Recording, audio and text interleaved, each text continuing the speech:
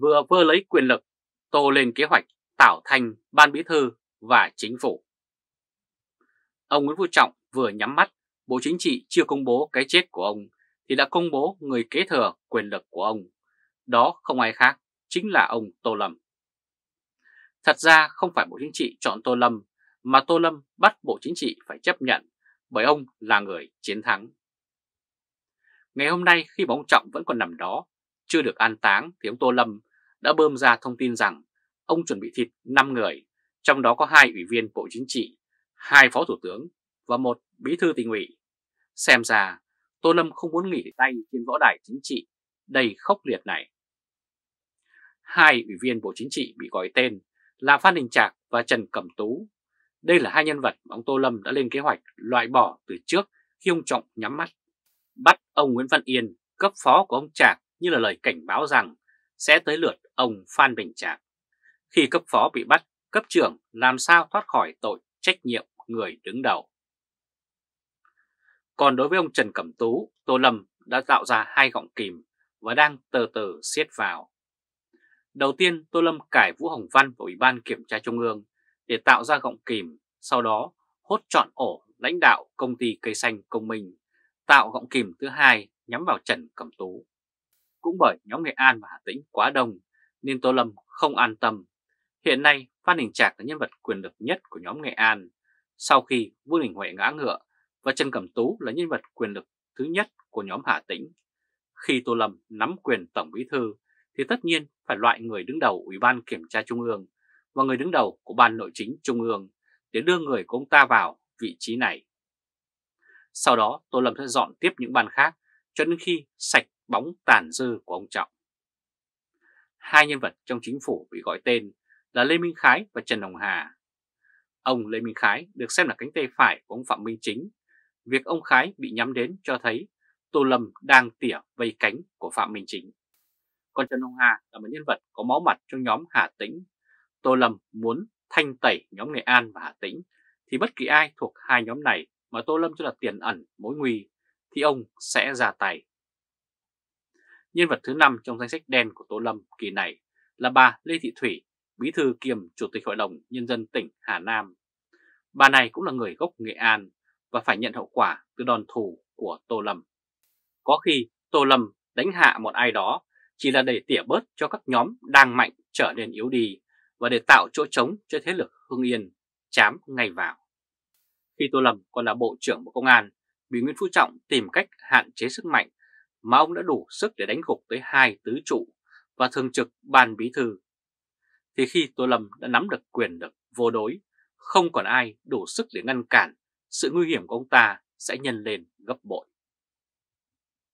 Trước đây, Tô Lâm cần Phạm Minh Chính để liên minh bớt kẻ thù và tập trung vào việc đánh phá thế lực của ông Trọng.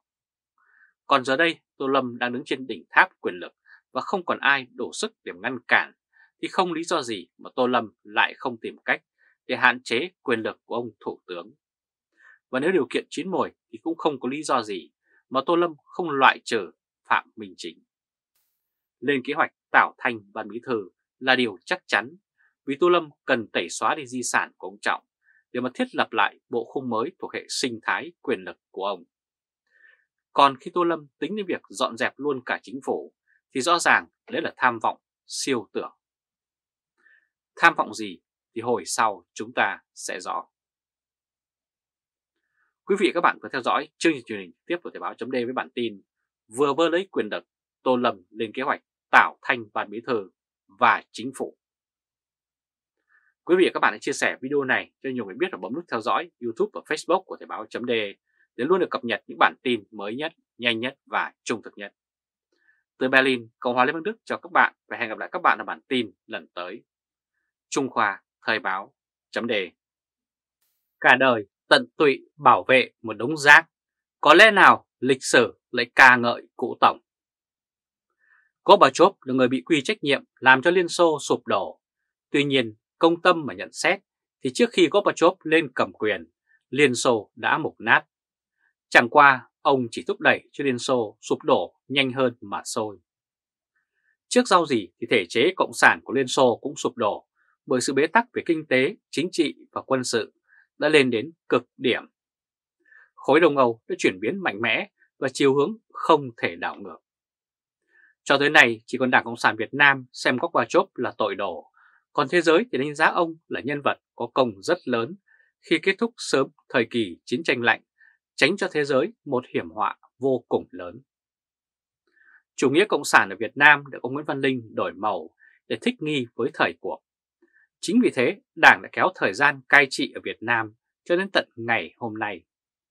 Tuy nhiên, với thể chế chính trị phản dân hại nước này, thì trước sau gì cũng phải sụp đổ, cho dù chính quyền của Đảng Cộng sản đang làm mọi cách để chống đỡ, tránh bị sụp đổ ngay bây giờ. Là người Cộng sản đứng đầu của Đảng và là người có thực quyền rất lớn, thiếu Nguyễn Phú Trọng có cơ hội lớn nhất để tạo nên lịch sử. Nếu ông cho tiến hành dân chủ hóa, thì giới lãnh đạo bên dưới khó mà chống lại ông. Tuy nhiên, đầu óc ông không đủ sáng suốt để nhìn ra sự tăm tối của chủ nghĩa Mark Lenin.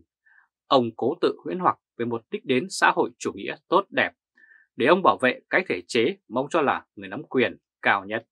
Sự tồn tại của chế độ chính trị độc tài toàn trị càng lâu thì Việt Nam càng dễ bị Trung Quốc thao túng. Mỹ đã chìa bàn tay ra nhưng ông Trọng lại không mạnh dạn bắt lấy dù ông cũng rất muốn xích lại gần họ. Ông Trọng là người đứng đầu một chính quyền cai trị 100 triệu người dân nhưng ông lại sợ người khổng lồ phương Bắc như con trẻ sợ bố mẹ. Chính sự trung thành với chủ nghĩa cộng sản của ông Trọng đã trở thành một dây vô hình trói đất nước Việt Nam dưới gót giày của Trung Quốc. Đảo Đài Loan tuy nhỏ bé vẫn có thể kiêu hãnh trước sức mạnh hung hăng của Bắc Kinh, còn Việt Nam thì rúm gió, sợ sệt, nguyên nhân bởi người đứng đầu của đảng không đủ tầm như người đứng đầu của chính quyền Đài Bắc. Có thể nói chủ nghĩa cộng sản hay chủ nghĩa xã hội gì đấy của Mark Lenin là một đống rác. Người dân đang phải sống với một chính quyền hôi thối, chưa bao giờ nó hôi thối hơn lúc này. Quan chức thì tham lam, dân thì bị chấn lột đủ kiểu, kinh tế đất nước thì bị thả nổi, chất lượng chính sách thì vô cùng kém cỏi. Tất cả những thứ đó đang khiến cho xã hội Việt Nam ngày một bần cùng hơn, người dân ngày một tũng quấn hơn. Ngày nào Đảng Cộng sản còn cai trị đất nước này thì ngày đó họ còn sơn phết những huyền thoại để mà du ngủ toàn dân. Trước đây họ sơn phết cho ông Hồ Chí Minh, cho Võ Nguyên Giáp, còn giờ đây họ đang có kế hoạch sơn phết cho ông Nguyễn Phú Trọng. Lịch sử do người Cộng sản viết chắc chắn sẽ ca ngợi Nguyễn Phú Trọng hết lời, còn lịch sử hậu Cộng sản thì chưa biết đến bao giờ mới tới lượt.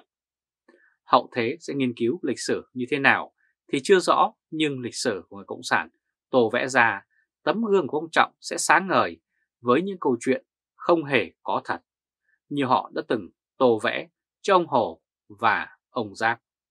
Một thể chế chính trị coi quyền lợi của Đảng lớn hơn quyền lợi của đất nước, coi người dân cùng dòng máu là đối tượng để khai thác như những mỏ vàng, mỏ bạc trong lòng đất, thì những người dùng cả cuộc đời để bảo vệ cái chế độ ấy có công hay tội đổ? Ông Trọng gấp hàng trăm con sâu lớn nhỏ trong hàng vạn con sâu của chế độ, nhưng đó không phải là công lao mà đó chỉ là hành vi lấp liếm, bỏ qua bản chất của chế độ để bảo vệ thể chế sâu bọ này. Cần gì lịch sử phán xét ông Trọng có công hay có tội thì mọi việc đã rõ. Quý vị và các bạn vừa theo dõi chương trình truyền hình trực tiếp của Thời báo chấm với bản tin Cả đời tận tụy bảo vệ đống rác, lẽ nào lịch sử ca ngợi cụ Tổng. Quý vị và các bạn hãy chia sẻ video này cho nhiều người biết và bấm nút theo dõi YouTube và Facebook của Thời báo chấm để luôn được cập nhật những bản tin mới nhất, nhanh nhất và trung thực nhất. Từ Berlin, Cộng hòa Liên bang Đức chào các bạn và hẹn gặp lại các bạn ở bản tin lần tới. Trung Khoa Thời báo chấm